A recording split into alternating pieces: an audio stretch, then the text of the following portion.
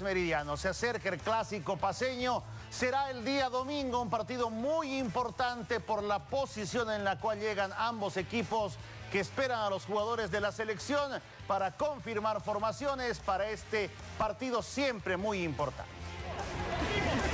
Recuperado Luis Gutiérrez de una sobrecarga muscular, será parte del plantel en el clásico del domingo. Pedraza es tomado en cuenta en el medio sector. Bolívar quiere sumar todos los puntos que restan en el torneo.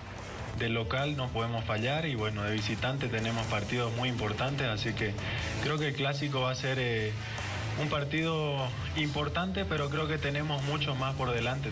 Su portero, Fernando Laforia, también está recuperado de un golpe en el hombro izquierdo y será parte del juego.